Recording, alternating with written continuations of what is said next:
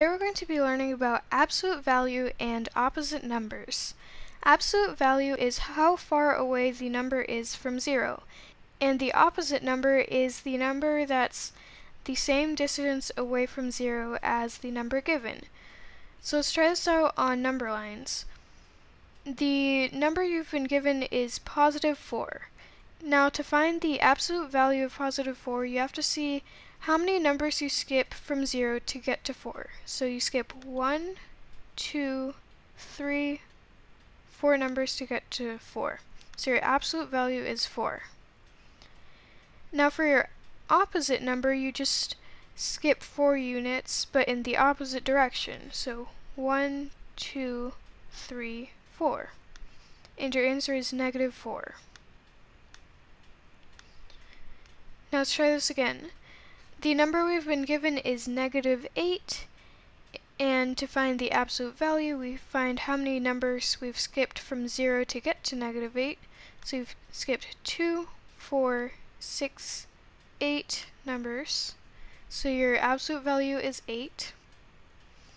And the opposite number, so you just go in the opposite direction, 8 units, 2, 4, 6, 8. The opposite of negative 8 is positive 8. So a pattern you'll notice is that the absolute value is just the number made positive. So 4, since it's already positive, it stays 4, and negative 8 turns into 8. It got turned positive.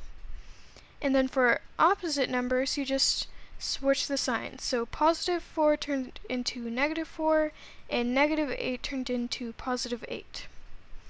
So let's try this without the number line.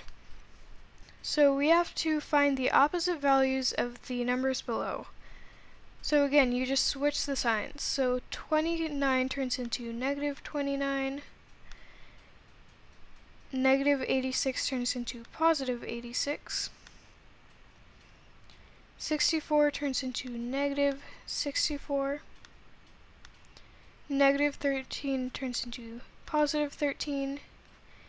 And negative 45 turns into positive 45. Next, let's find the absolute values of the numbers below. So again, if the number is positive already, you just keep it that way, and if it's negative, you turn the number positive.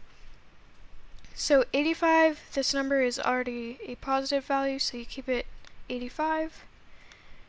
24 is already positive.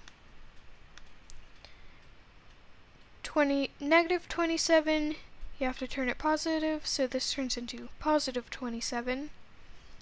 94, it's already positive, so keep it 94. And negative 34 turns into positive 34. And that is how you work with absolute value and opposite numbers.